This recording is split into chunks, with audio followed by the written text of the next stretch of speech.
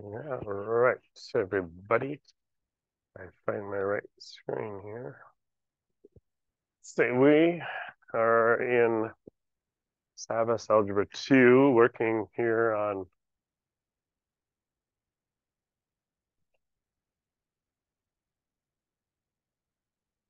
base of a ramp is how many inches long then? So skateboarding ramp is 12 inches high. Under sketch a little picture here. 12 inches high. Uh, and rises an angle of 21 degrees. So like 21 degrees. How long is the base of the ramp? Put me down here.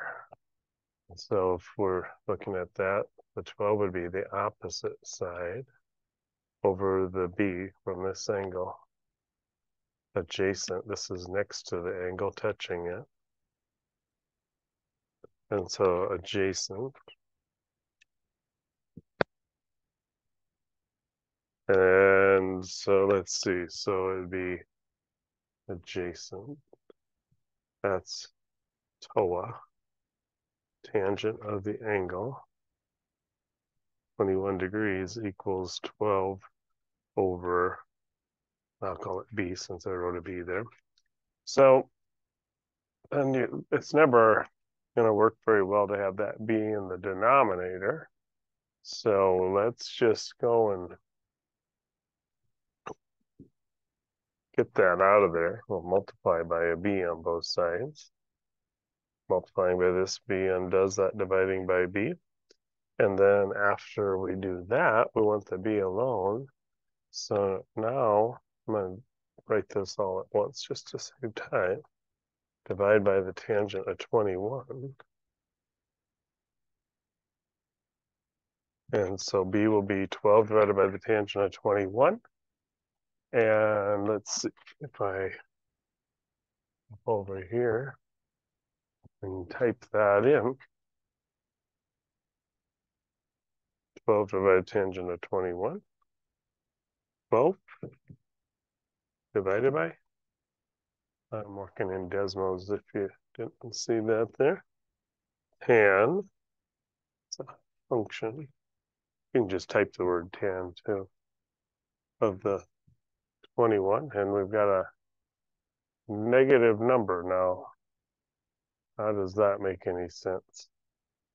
I wonder if we might have in our settings that we're working in radians. So in the settings, this little wrench in the top right, and let's see if we're in radians. We certainly are in the bottom left here. Change that to degrees. Close that window up and it automatically adjusted it there for us. So 31.26, 31, what did it say to round to in that problem?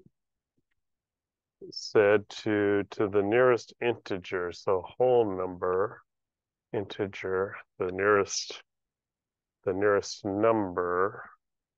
Let's see, what was that again? 31 then, so 31 is what we want right there.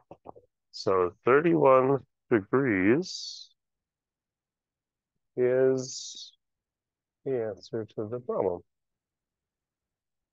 And check it.